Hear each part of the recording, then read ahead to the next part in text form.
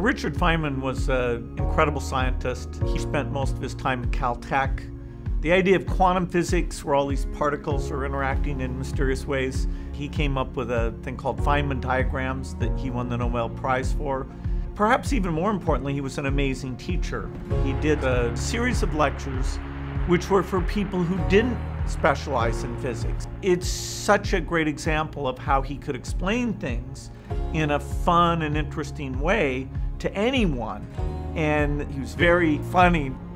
Incidentally, at the time of uh, Kepler, the problem of what drove the planets around the sun was answered in certain, by some people by saying that there were angels behind here beating their wings and pushing the planet along around orbit.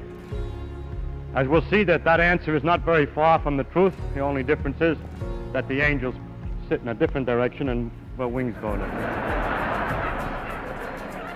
Dr. Feynman used a tough process on himself where if he didn't really understand something, he would push himself. Do I understand this boundary case? Do I understand why we don't do it this other way? Do I really understand this? And because he had pushed himself to have such a deep understanding, his ability to take you through the path of the different possibilities was incredible. Uh, oxygen, for instance, in the air would like to be next to carbon, and if they're getting near each other, they snap together. If you can get it faster by heating it up somehow, somewhere, they come close enough to the carbon and snap in.